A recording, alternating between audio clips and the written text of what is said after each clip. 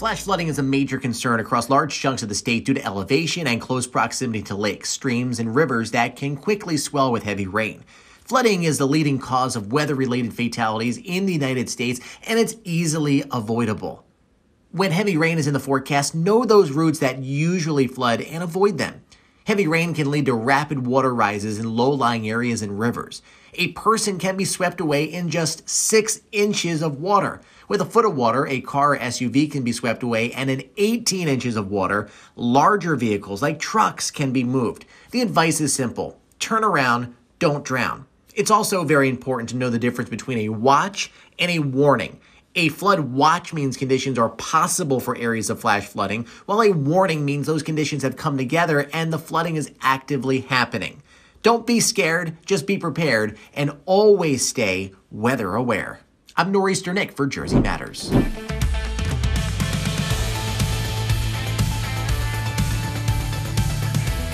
Welcome back. New Jersey is a treasure trove of quirky museums. And in this week's Jersey Jaunt, Jersey Matters Phil Andrews takes us to one. Phil.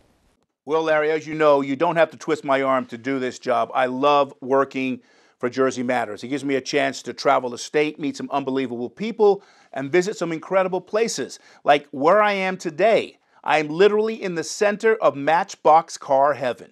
Built to last, it's a blast, Matchbox! I mean, let's face it, when I was a kid, Matchbox commercials were prominently featured during our Saturday morning cartoons. Heck, I even had a modest Matchbox car collection.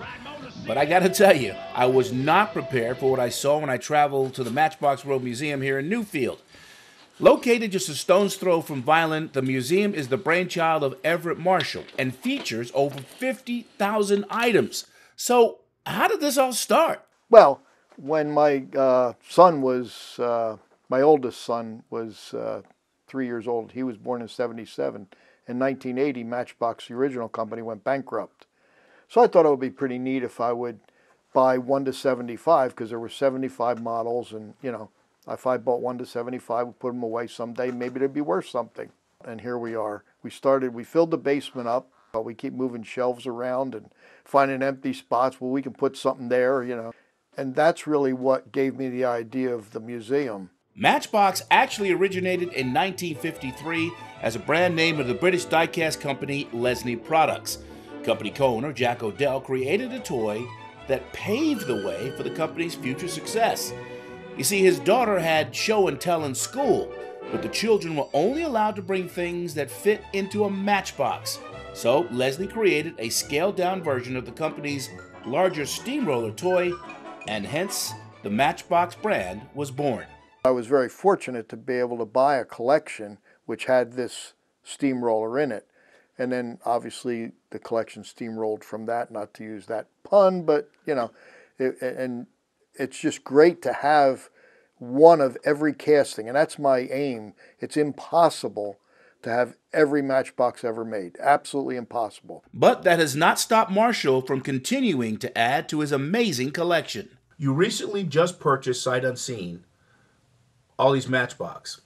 You didn't know what was in it, but you're telling me when you were looking at it this morning, your eyes lit up. The fellow was a long-time collector. He had some health issues, and that's why he wanted to get rid of his collection. He told me how much he wanted and the amount of pieces that there were, and I said, well, you know, it doesn't matter what they are. And as we're unloading it, I'm finding some stuff that, um, yes. When people come here, what do you want them to leave here feeling? I want them to want to collect okay. because that's good for the hobby.